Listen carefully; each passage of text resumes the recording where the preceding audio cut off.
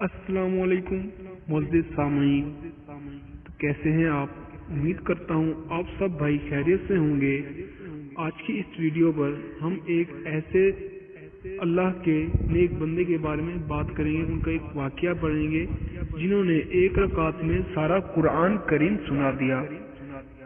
मौलाना हबीबुर रहमान लुधियानवी रहमतुल्लाह अलैह के दादा मौलाना मोहम्मद रहमतुल्लाह का बयान है कि अठारह सौ सतावन के बाद, एक रात में पटना गंगा के किनारे मस्जिद में गजारी इन दोनों हाफिज जियाउद्दीन बुखारी व अमीर शरीयत रहमतुल्लाह की उम्र उनतीस साल थी और उन्होंने एक रात में भी एक ही रकात में सारा कुरान करीम सुना दिया था।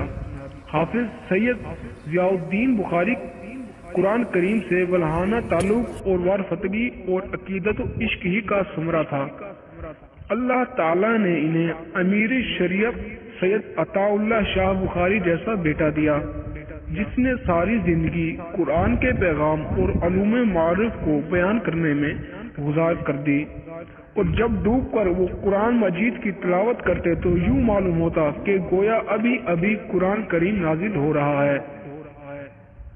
तो दोस्तों, ये थे एक अल्लाह के नेक बंदे का काम। तो अगर आपको हमारी ये वीडियो अच्छी लगी हो तो वीडियो को लाइक कर दीजिए, चैनल को सब्सक्राइब कर दीजिए।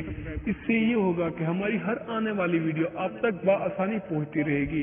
और आप हमारी हर वीडियो से कुछ न कुछ फ़ायदा उठा सकेंगे। तो मिलते हैं अगली वीडियो में, तब तक के लिए अल्लाह हाफिज़।